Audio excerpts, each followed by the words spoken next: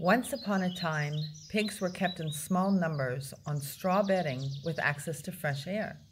The manure was removed manually. So, why do we no longer see pigs in the countryside? At the end of the Second World War, people were famished and food was scarce. There was an urgent need to mass produce cheap and plentiful protein in Europe. To do so, more and more pigs needed to be raised together on less and less space. However, removing the manure manually was now becoming too much work. Bedding now had to be replaced by concrete slatted floors. Now, urine and feces could drop down together into a slurry pit below. The mixture of feces and urine in the pits could then be easily vacuum pumped out by a slurry tanker. For this all to work, pigs now were kept fully indoors on fully slatted concrete floors without any bedding at all. The degraded and stinky slurry would then be transported away from the farm, not only at a cost to the farmer, but also to the environment. The slurry, a mixture of feces and urine, under the slatted floors proved to be detrimental to both the indoor and outdoor climate.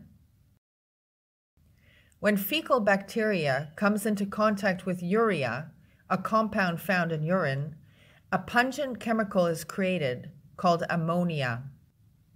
The stench from ammonia, even outside the barn, became so horrible that neighbors, even whole villages, started to complain. The deposition of huge amounts of ammonia also became devastating to biodiversity. This led to the idea of fully sealing pig barns, even removing windows and installing air washers in the roof. The air washers clean the air before its release into the outdoors. Better for the people, but it did nothing to reduce the stench for the animals and farmer inside the building. Air washers also require a lot of electricity in the barn. Risk of barn fires increased dramatically. Subsequently, every year more and more pig barn fires are started by a short circuit in the air washers, killing hundreds and thousands of pigs in a horrific manner. So, how can we change this never ending story of problems? Of dangerous and environmentally detrimental solutions being used simply as a band aid? What if we could develop a humane and smarter method of raising pigs? What if we could use the innate intelligence of pigs to create the solution? Pigs are not only smart but also hygienic animals by nature, choosing not to soil their living quarters if given the space. So, what if I told you that we can go one step further and teach pigs to urinate and defecate separately in their living space?